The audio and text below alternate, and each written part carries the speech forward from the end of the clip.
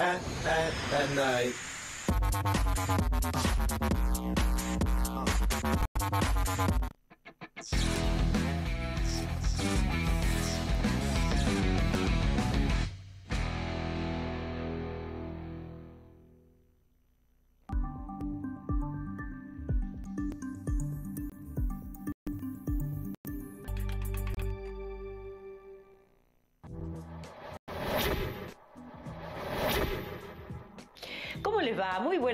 Para todos. Bienvenidos a 20 Noticias en 30 minutos, último día de la semana. ¿Qué me cuentan?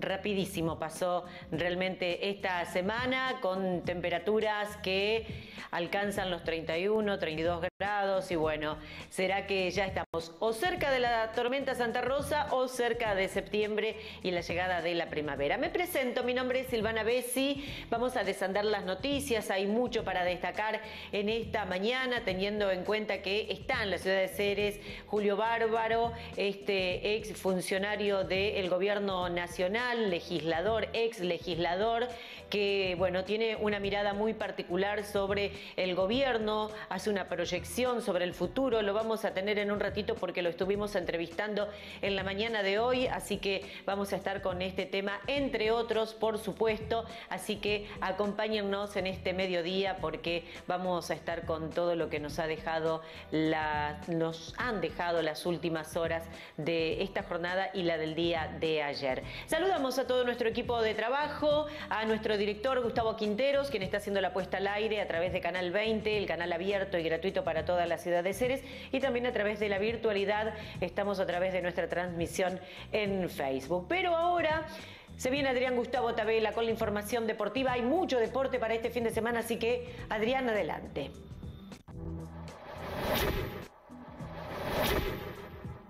Bienvenidos, muy buen mediodía para todos, ¿cómo les va? Canal 20 Noticias en marcha se pone con este espacio deportivo, bien lo decía Silvana recientemente, un fin de semana que genera atracción, solo porque llegamos al viernes, esperamos por el sábado, el domingo fundamentalmente, para abordar el fútbol de la Liga Regional Ceresina, el básquetbol de la Copa Santa Fe y también el de la competencia local, el de la Asociación Noroeste Santafesino.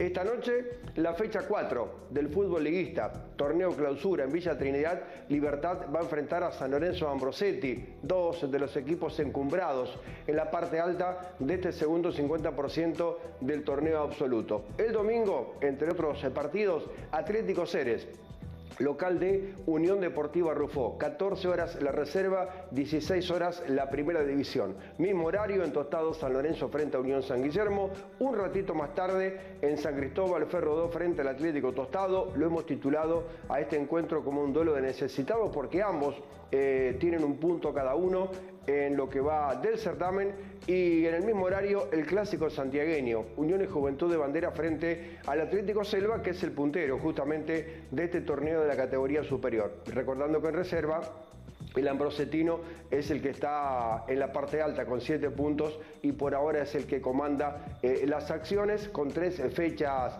disputadas. Tendrá jornada libre central argentino olímpico. Esta noche comienza a jugarse la fecha 6 en el grupo B. Atlético Tostado ante Platense por venir de Reconquista. Hacemos referencia a la Copa Santa Fe de básquetbol. El rojo juega el domingo, 20 horas frente a Colón de San Justo con la necesidad de ganar para no perder pisada a los que están en la parte alta y para seguir haciendo fuerte su localía. El resto de los encuentros se van a jugar entre viernes y domingo. Hablamos de los grupos A, C y D, mientras que Brown de San Vicente ante Atlético Rafaela lo van a hacer el próximo domingo también a partir de las 8 de la noche. Juega Central por la Asociación Noroeste Santafesino el próximo domingo, local frente a San Lorenzo de Tostado, muy posiblemente con la presencia de uno de los refuerzos que llegan ya para Liga Argentina. Hablamos de José Bione, el ex Independiente Oliva que consiguió con su grupo de compañeros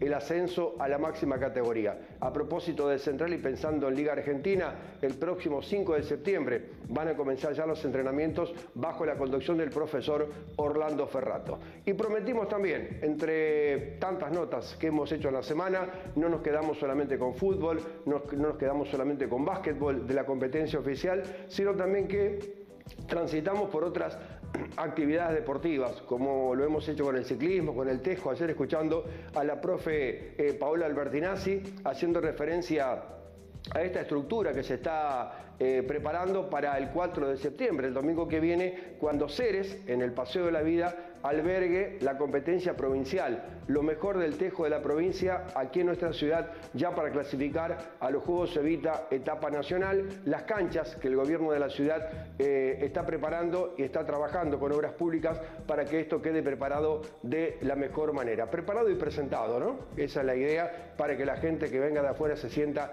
realmente muy cómoda. Ayer nos dimos una vuelta por el estadio Facundo Zukaski, horas de la siesta, realmente un grupo de chicas, Maxi Volley, para destacar lo que están eh, haciendo estas eh, mamás, muchas de ellas, otras un poco eh, más adolescentes, todavía sin hijos, pero con su trabajo, por eso buscan el espacio justo para intentar llevar adelante esta actividad deportiva. Maxi Voley, que tiene también su campeonato, son ocho equipos los que forman parte de este certamen de la Asociación del Voley del Noroeste Santafesino. Charlamos con su profesora eh, para que ella misma nos cuente lo que están llevando adelante. Eh, Brenda es la que nos va a destacar y a remarcar todo lo que nosotros en un ratito le vamos a mostrar con los micrófonos y las cámaras exclusivas allí en el estadio Facundo Zukaski en el Club Atlético Ceres Unión. Lo presentamos a la vuelta Brenda Bovero como protagonista y por supuesto todo este carrusel de actividades deportivas que tendrá lugar en los próximos días.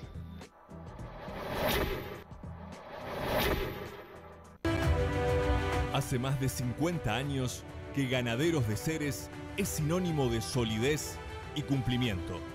Llevamos años de trabajo firme y sostenido junto al productor de Ceres, Tostado, San Cristóbal, La Guampita, Malbrán y Suardi.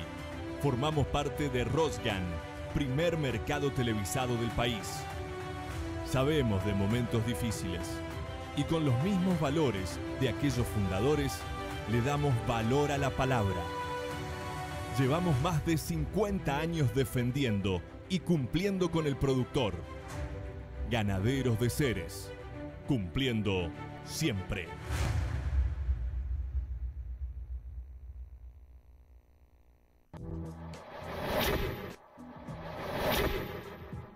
Los títulos de periódico, el informe, lo que tenemos que saber en un minuto. Jessica Mancilla, adelante.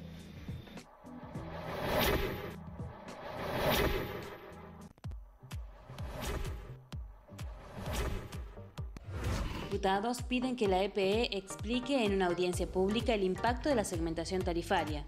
Legisladores de la oposición aseguran que no hay información clara de parte de la empresa acerca del aumento que pueden sufrir los santafesinos. Sospechan que puede haber una suba encubierta del VAT. Migli gestiona por la repavimentación de la Ruta Provincial 39 y la construcción de una rotonda en el cruce de la Ruta Nacional 34.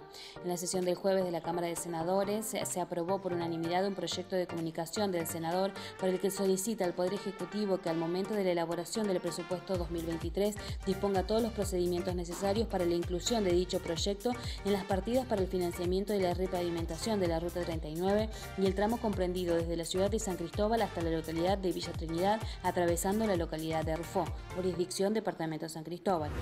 El gobierno descontará los días de paro. Tras afirmar haber agotado y sin resultado positivo todas las instancias y apelaciones para que se dejen sin efecto los paros dispuestos y, en cumplimiento de lo pactado y habiendo notificado la reapertura de negociaciones colectivas, decidieron no abonar los días no trabajados por los cuales se perdieron clases en las escuelas, turnos médicos, atención a la comunidad que lo necesita y en general tramitaciones ante la administración pública.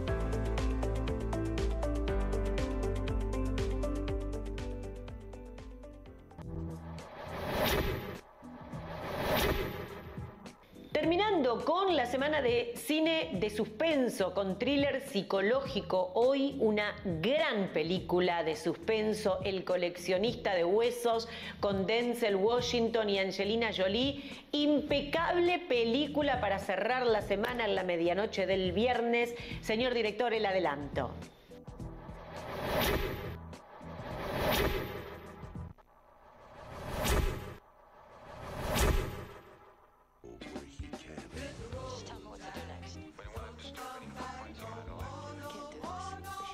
Noche en Cine del Bueno para cerrar la semana de cine de suspenso y thriller psicológico, El coleccionista de huesos, con la tremenda actuación de Denzel Washington junto a Angelina Jolie.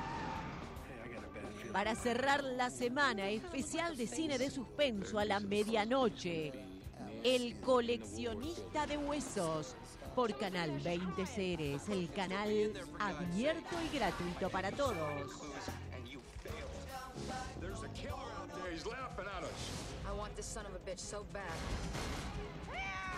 Some people win, some people lose. The game is over. Amelia?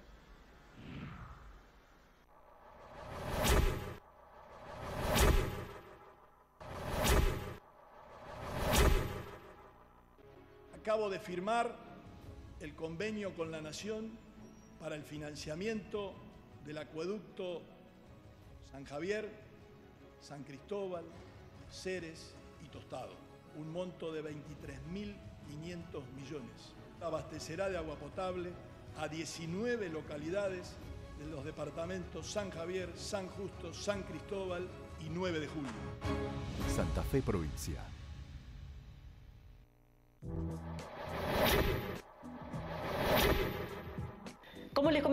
Al principio, estuvimos entrevistando en la mañana del día de hoy a eh, Julio Bárbaro, que está en la ciudad de Ceres.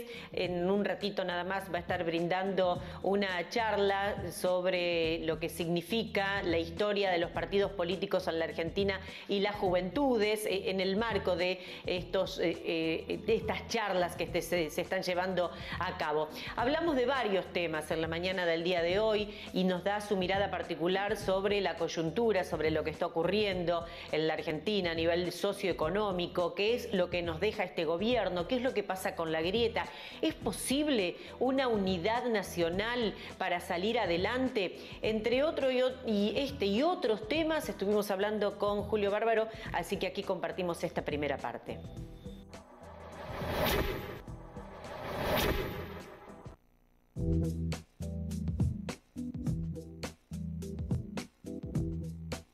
Contexto particular de la Argentina, como se viene dando desde hace unos años, y usted tiene una mirada muy particular sobre lo que está ocurriendo. ¿Cuál es el panorama argentino de estos momentos? ¿Cuál es el título y cómo es su desarrollo? Para mí el título central, a ver, yo fui diputado en el 73 por el peronismo, pero no importa el peronismo, era un país que lo habían hecho los radicales, los liberales, los golpistas, Frondizi, Ilia, ese país de los 70 no tenía un plan social, uno, ni un caído en la calle. El ferrocarril funcionaba y nunca te asaltaban. Yo esperaba el tren a la una de la mañana. Yo viajé a La Quiaca y a Bariloche en tren de segunda. Quiero decir, habíamos construido un país lo destruyó el golpe, pero lo destruye, además de matar y la guerra de Malvinas y la deuda, porque desarma la industria e instala los bancos. Y de un país que fabricaba aviones, hoy importa repasadores. No tiene con qué pagarlo, obviamente. Importó vagones rotos de España la destrucción. Por eso algunos payasos dicen el plan Gelo, no tenía nada que ver. Después de Gelo viene Gómez Morales. Digo, ahí quedamos. Isabel se va y nos deja 6 mil millones de dólares de deuda, payasos. Pusieron bancos que daban el 10% mensual en dólares. Si lo ganaban, se lo llevaban. y si perdíamos lo pagaba el país porque nacionalizaban la deuda. La destrucción hay que tomar donde está, porque si usted se equivoca del día que empezó a tomar, va a creer que fue la aspirina lo que lo dañó. Entonces, no podemos ocultar el momento de la destrucción. Después viene Alfonsín, que fue el mejor presidente de la democracia. Él intentó que el poder político se impusiera a los negocios. Perdió, ganaron los negocios. Y viene el turco Menem, del cual fui amigo y secretario de Cultura. Yo fui parte del plan Bujibor. ¿Cómo era el plan Bujibor? Yo planteé una alianza entre el poder político y el poder económico. Poder económico nacional. Y pierde, viene el turco, destruye todo, viene Caballo y vende los ferrocarriles, la luz, el gas, el teléfono, diciendo lo van a administrar mejor. Yo digo siempre para dar la imagen clara, cuando alguien voy por la calle y me pone la pistola en la cabeza, es que me está privatizando, dice yo lo voy a administrar mejor. Y vino Kirchner, también fui amigo. Y Kirchner, Kirchner hizo una idea del poder personal. Todo lo que aparece en Lázaro Báez. es absolutamente así, que vamos a negar la realidad. Si a Daniel Muñoz le quedaron 100 millones de dólares, usted se imagina cómo era la bolsa para que caiga esa propina. Entonces, por ahí Cristina no haya sido responsable, pues la asociación ilícita, discutible, no me importa. Tema central que la Argentina. Néstor había hecho un poder personal. Desde la corrupción que está instalada en la Argentina. Yo le he discutido. Yo sé de dónde cobran cada uno, porque uno estuvo ahí y los escuchó. Entonces, la ideología de la Argentina es la complicidad. Yo le he dicho, Mauricio Macri me llamó, me dijo, ¿qué pedís vos para ingresar al PRO antes de ser presidente? Yo le dije que le devuelvas el juego, las tragamonedas, los casinos a las instituciones de bien público para levantar lo caído en la calle. No me llamó más. Seguimos siendo amigos, pero. O sea, un curro, a ver si nos entendemos, un latrocinio, hay que devolverlo. La dirigencia política se enriquece a partir de empobrecer a la sociedad. Usted está hablando de un quiebre que fue justamente en el gobierno militar donde dice no hubo un plan. ¿Y cómo, cómo se fue alejando todo eso de lo que había soñado Perón, que era eh, la industria pesada también, por ejemplo? Frondizi también. Lanús se lo había soñado. Con Krieger, Bacén y Onganía crecíamos al 7% anual. Porque dividir Perón de los demás es un error. Acá hay que dividir Patria, que le hicieron todo, hasta la dictadura, y Colonia, que le hicieron todos. O sea, hay una concepción de país hasta el 76 una concepción de colonia bancaria después. Bueno, ¿y cómo se hace con esta patria financiera que tenemos, con este gobierno de los bancos como usted lo plantea, teniendo en cuenta que hay eh, sectores del em empresariado, la CGT, los movimientos, el gobierno? ¿Cómo se hace para que haya unidad? Porque usted siempre lo plantea, que hace falta unidad. ¿Es posible una unidad para salir adelante? A través de un proyecto, sí. ¿Pero las fuerzas están dispuestas? Yo le decía a Mauricio Macri, cosa que digo siempre haber permitido que el supermercado se quede con la ganancia de la gaseosa, Carrefour, es suicida, eso no es libre mercado. Si usted va desnudo por la calle y lo viola, no es libertad, es imbecilidad. Entonces, yo le decía a Mauricio, Mauricio, cada farmacia que avanza farmacita es un clase media que degrada en clase baja. Si no hablamos de la concentración económica, no hablemos de nada. Yo le digo a la sociedad rural que me han pagado para que les hable. No podemos permitir que los campos los compren los chinos. Porque para los chinos, 10 mil millones, 20 mil millones es nada. Y el campo, sus nietos van a ser empleados de los chinos. O sea, han comprado un liberalismo sin patria. liberalismo sirve para incentivar la producción, no para Cuando Mauricio Macri fue a Estados Unidos a hacer un edificio, un señor que se llamaba Trump y no había sido presidente todavía, dijo, los edificios los hacemos nosotros acá, nene, andate. O sea, la idea del libre cambio, este- esta estupidez que decimos que vamos a hacer el libre cambio con Europa, yo no conozco que tengo uso de razón, tengo 80 años de esta estupidez. Europa es débil en el agro, que nosotros somos fuertes. Nunca va a serlo, porque va a proteger el agro. ¿Quién inventó esto de no proteger? Esper. Digo, los economistas no pueden conducir las sociedades, tampoco los militares. Bueno, en algún momento, eh, Cristina, cuando eh, se alzaba contra la política económica de Macri, decía que los números tienen que cerrar, pero con la gente adentro. ¿Cómo se logra eso? ¿Hay algún proyecto económico que incluya a la gente sin necesidad de que el Estado esté participando continuamente y asistiendo a- al 50% casi de pobreza que tenemos? Regular la concentración. ¿Y cómo es eso? Impedir la concentración. No puede ser. Ve, si cada su- supermercado mata 200 almacenes. Señores, es muy clarito. La Argentina de hoy tiene en concentración económica la contracara de la miseria. Si los bancos, los kioscos son de los bancos, hay cadena de kioscos 24 horas. Yo tengo 80 años, siempre he sido un productor libre. A los 40 tenía 150 mil dólares de crédito, hoy no tengo mil dólares. ¿Sabe por qué? Porque han decidido destruir la clase media, a la cual pertenezco. Entonces, cuando yo era joven, un obrero se sentía perteneciente a la clase media. Hoy un profesional, muchos profesionales son clase baja. ¿Hay forma de cerrar la grieta? Sí, con un proyecto de país. ¿Somos capitalistas? Sí. El Estado lo que tiene que hacer no es contratar gente, es impedir la concentración, dar crédito. ¿Solo con eso? No, no, este sería el principio. Después ver qué producimos y cómo exportamos. ¿Hay figuras que se presenten para un proyecto en serio para dirigir al país? Porque se piensa en el oficialismo, se piensa en la oposición. Dentro de la oposición está el radicalismo, está el PRO. ¿Cuáles son las fuerzas que se vienen? Yo personalmente prefiero a los radicales, Gerardo Morales y Facundo Mane, y del PRO a Patricia Burri.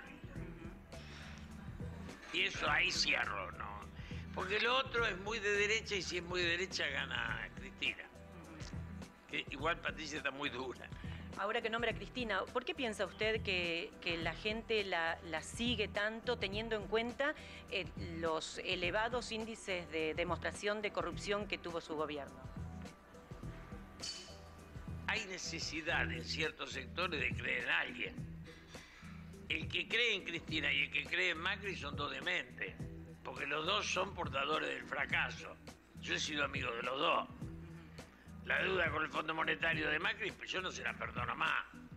Lo que Cristina no robó, robó. El que armó la corrupción fue, a ver, fui amigo de los dos, fue Néstor.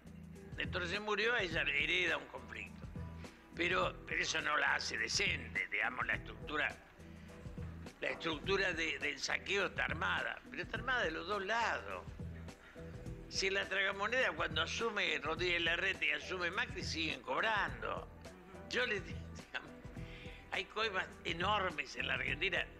La privatización de la luz, el gas y el teléfono es para coimear.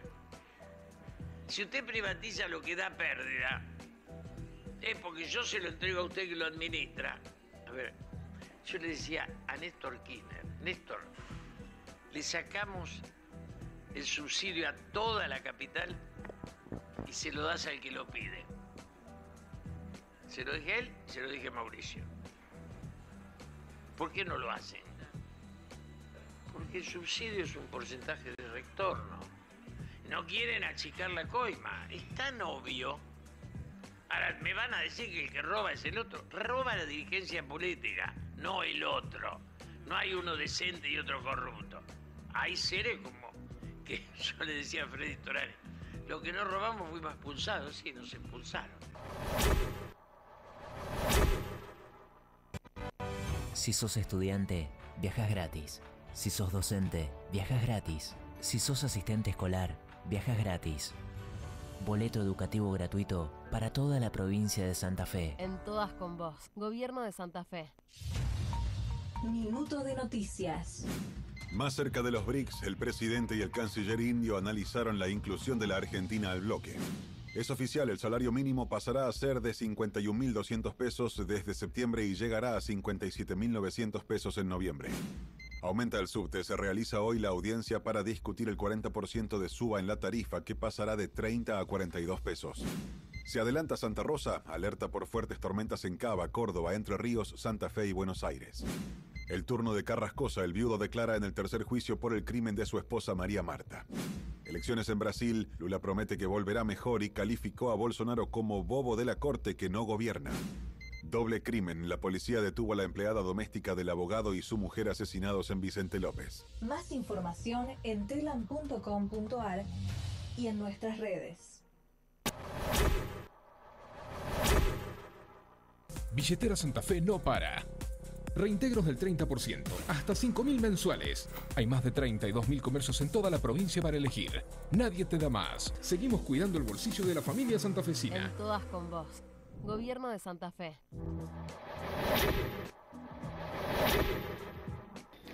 Recordamos, esta noche comienza a jugarse la fecha 4 del fútbol de la Liga Regional Cerecina. En el Rafael Pepa Libertad va a enfrentar a San Lorenzo de Ambrosetti. El próximo domingo la fecha se completa con encuentros muy atractivos, entre ellos el clásico santiagueño.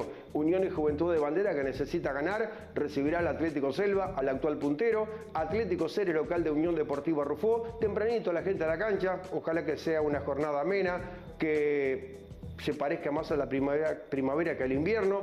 Y también en Tostado San Lorenzo frente a Unión San Guillermo, un rato más tarde Ferrodó frente a mm, eh, Atlético Tostado, mientras que mm, quedará libre Central Argentino Olímpico en esta oportunidad. Esta es la jornada número 4 ya de este segundo 50% del torneo absoluto. El próximo domingo juega Atlético Ceres Unión al básquetbol, Copa Santa Fe. Como local estará recibiendo a Colón de San Justo. El Rojo necesita ganar, como decíamos en los títulos recientemente, para no perder pisada respecto a la lucha de los primeros tres puestos, que lo van a meter directamente en cuartos de final en este grupo B que comienza esta noche con el encuentro que van a disputar Atlético Tostado frente a Platense por venir de Reconquista.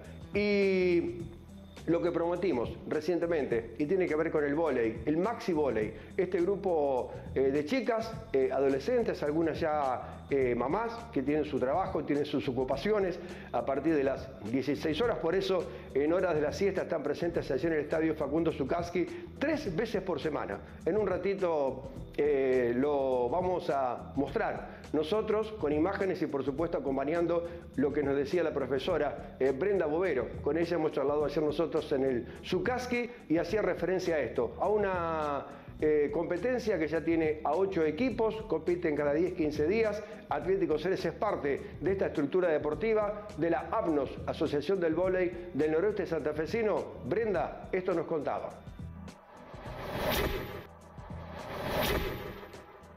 Eh, somos aproximadamente 20 chicas, eh, hay algunas que somos mayores de 25, hay chicas de 20, 21. Las que no pueden entrar a participar en este Maxi Volley, se armó una liga dentro de la, de ABNOS. Somos ocho clubes. Eh, en este momento somos dos clubes de San Cristóbal, Arrufó, La Rubia, San Guillermo, Ceres, Selva y Bandera. Eh, muy, muy lindo grupo, empezamos a entrenar en febrero más o menos lo que fue el volei playero, como para entrar en, pretemporada y después nos pasamos acá adentro. Eh, tenemos tres días de práctica, una hora y media. Eh, la verdad que muy lindo. Eh, no nos íbamos a meter en el tema de competición, pero bueno, las chicas quisieron porque también es un incentivo y acá estamos, en esta. ¿Empezaron este año o venían ya juntándose en años anteriores?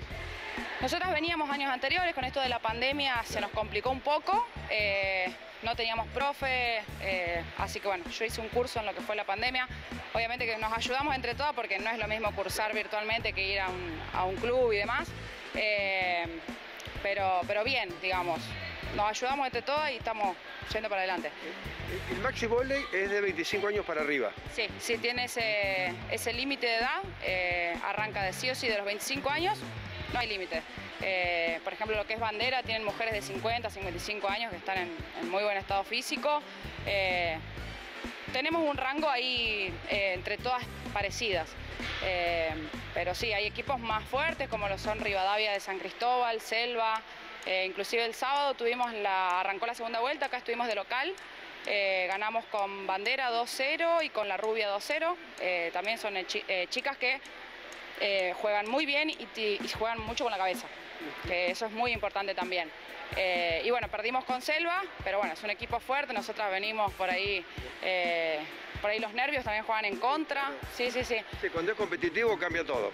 Cambia todo dentro de la cancha, los nervios, por ahí un- unas peleas también. eh, pero no, bien, bien. Inclusive lo que nos pasa por ahí es de que venimos palo a palo y después se da vuelta y perdemos o ganamos.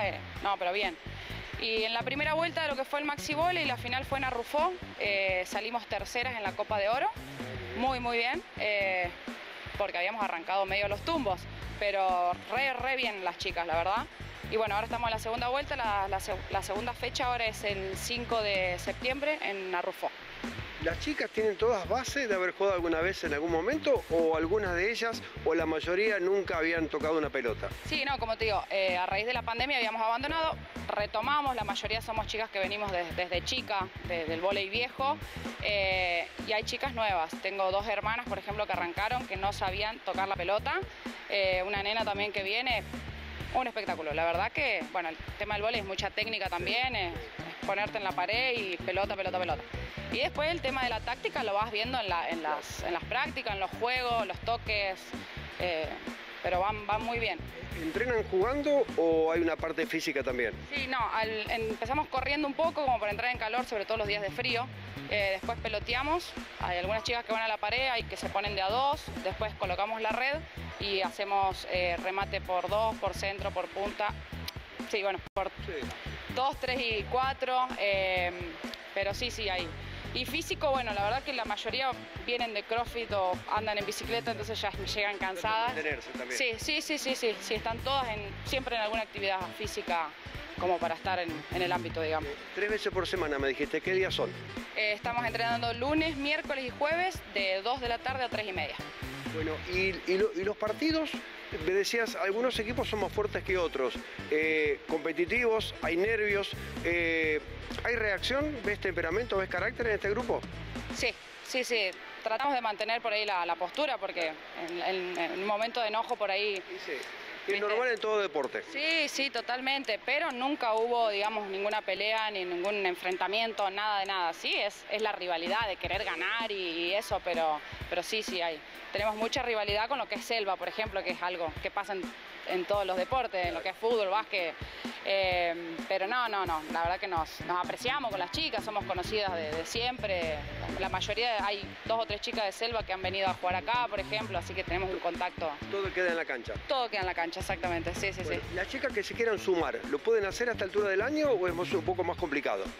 No, no, no es complicado. Pueden arrancar, el tema es que ya no, no pueden ingresar a lo que es la liga si tienen más, más, más de 20. Hay una planilla y una plantilla ya formada. Sí, sí, sí, ya está la, la lista de buena fe y bueno, ya no podemos agregar porque eso cierra ni bien arranca la liga. Eh, después pueden venir a práctica, eso no hay ningún problema, tengan o no tengan base, acá venimos a aprender, como yo digo, estamos todos a los tumbos y nos ayudamos entre todas. Y a sentirse deportista todavía. Sí, sí, sí, eso es importante porque por ahí a mí en lo personal me pasaba, qué sé yo, eh, con mi condición de que yo tenía sobrepeso, cuando bajé de peso dije, no, ya no voy a hacer actividad física porque, sé yo, tengo 25 años, ya estoy vieja, me consideraba. Y ahora con casi 30 retomamos de nuevo, agarré muchas chicas que creí que no iban a venir, la mayoría, eh, la más grande tiene algo de 45, tenemos chicas de 30, 35, 40 ahí, somos grandes y bueno, el cuerpo ya pasa un poco de factura, pero la verdad que sí, sí, sí, sí, cada una a su ritmo, yo lo que siempre le digo a las chicas cuando habíamos arrancado, cada una corre, trota, camina a su ritmo para obviamente tampoco lesionarnos, eh, pero sí, no, no, bien, bien, de a poco se puede.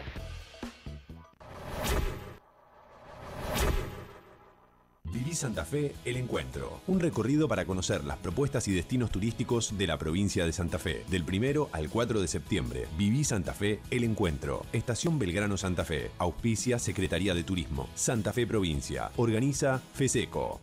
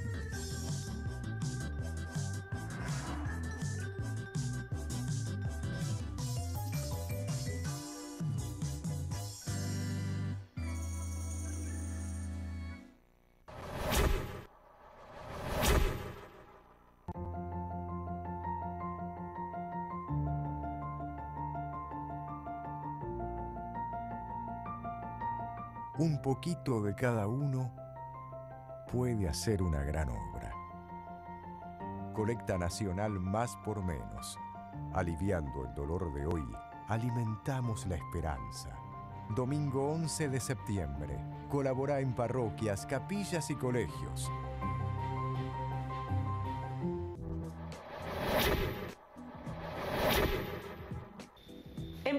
Cerecinos tiene su espacio dentro de 20 noticias en 30 minutos, este espacio que coordina Silvia Lázaro. Entrevistamos a Micaela Figueroa. Ella es revendedora de productos de cosmética y ahora tiene un nuevo emprendimiento que ya está lanzando porque estudió eh, panadería y por eso es que se larga con este nuevo emprendimiento que es la preparación de prepizzas. Micaela nos contaba lo siguiente.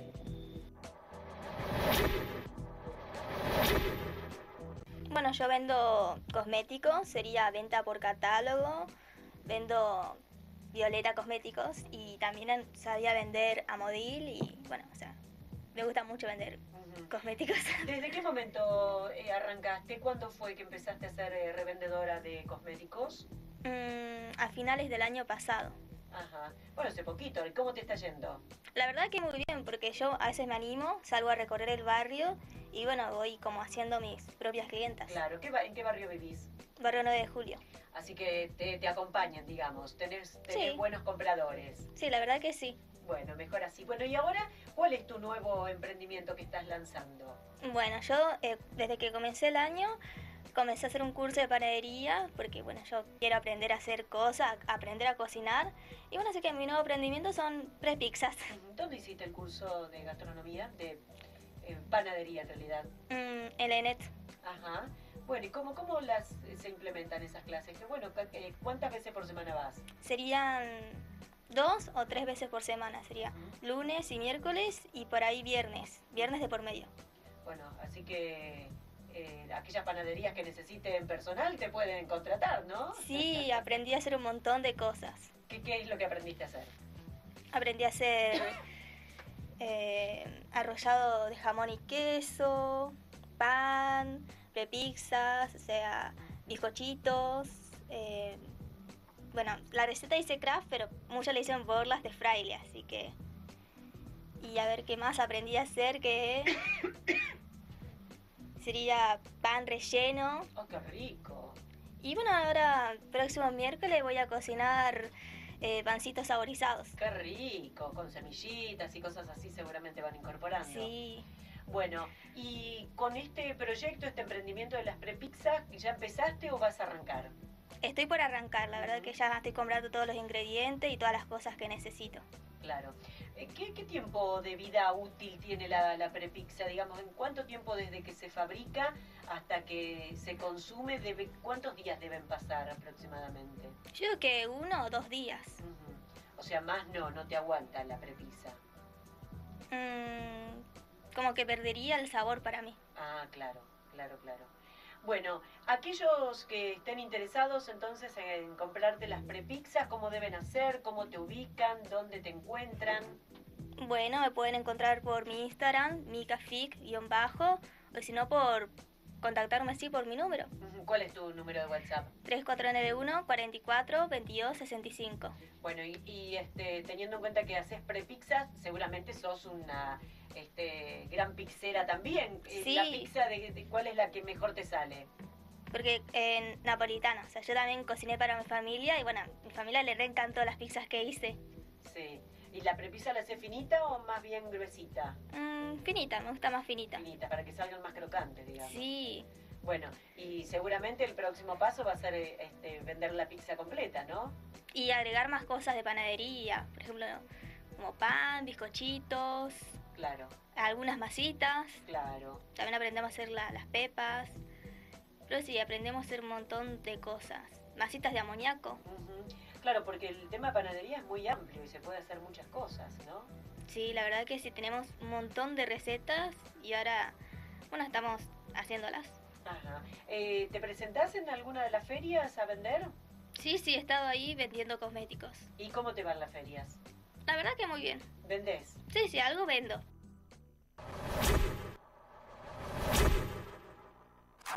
que me ha tocado la Agencia Oficial Lofiego de Facundo Lofiego, número 9316. Todos los sorteos, Kini 6, Loto, Brinco, Tómbola Express. Los horarios de Agencia Lofiego de 8 a 14 y de 15.30 a 20.45. Agencia Oficial Lofiego de Facundo Lofiego en Hipólito Vieites 136. Es importante destacar que durante el gobierno de Omar Perotti se van a inaugurar cerca de 2.000 nuevas plazas para el servicio penitenciario, un hecho inédito, con una inversión de más de 5.000 millones de pesos y que va a tratar de paliar la situación de sobrepoblación en las unidades penitenciarias de la provincia de Santa Fe. En todas con vos. Gobierno de Santa Fe. El clima para el fin de semana en nuestra ciudad. Para mañana sábado se esperan temperaturas mínimas de 19 grados y máximas de 18, con probabilidades de entre un 10 y un 40% de tener tormentas aisladas durante todo el día, aunque se pronostica un día bastante ventoso. Para el domingo, el cielo estaría parcialmente nublado durante todo el día, con temperaturas mínimas de 11 grados y máximas de 18. El lunes, las mínimas serán de apenas 4 grados y las máximas de 19. El cielo estará algo nublado durante todo el día. De turno, hoy y hasta mañana a las 8 de la mañana, Farmacia Vega, Avenida Italia 301. Esta semana, la recolección de residuos de patio se realizará en la sección 4, Barrio Nasser, Barrio Re, Barrio Belgrano Norte, Barrio Nueva Esperanza, Barrio Irigoyen. Si vos o alguien que conoces está atravesando una situación de violencia de género, llama a las 24 horas los 365 días del año al 144. En toda la provincia al 911. Santa Fe Provincia. Muy bien, hasta aquí hemos llegado. Esto fue 20 noticias en 30 minutos. Fíjense el total white, el total blanco de Collage Multimarcas. Muchas gracias con esta blusita maravillosa que para esta temporada es ideal. 20% de descuento de la temporada de invierno en Collage Multimarcas. Gracias a Ojana con estos espectaculares accesorios en este mediodía, gracias a Lucila Espíndola, que anoche estuvo festejando con sus colegas el Día del Peluquero, gracias a eh, Natura de Antonio Figueroa por acompañarme. Adrián Gustavo Tabela estuvo con la información deportiva, Jessica Mancilla, Facundo Gorosito, Franco Acuña, Daniela Gómez, nuestro equipo de trabajo y nuestro director Gustavo Quinteros, quien ya nos deja con este clip. Aquí tenemos entonces a Abel Pintos haciendo esta versión en vivo para despedirnos y para abrir las puertas del fin de semana. Cerramos el domingo maratón especial de mes de las infancias con eh, Toy Story, que es una película maravillosa y que tiene toda su saga y es por eso que hay maratón desde el mediodía. Gran fin de semana para todos. Nos despedimos el próximo lunes. Aquí nos encontramos. Chau. Hasta luego.